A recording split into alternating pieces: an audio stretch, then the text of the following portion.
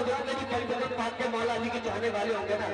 भाई पब्लिक रही है थोड़ी माइक की आवाज़ बढ़ा जितने भी मौला अली के पाक के चाहने वाले होंगे बहुत बहुत शुक्रगुजार हूँ आप सबका। भाई लोगों का ईश्वर ये तो हाँ। जो दुश्मन रसूल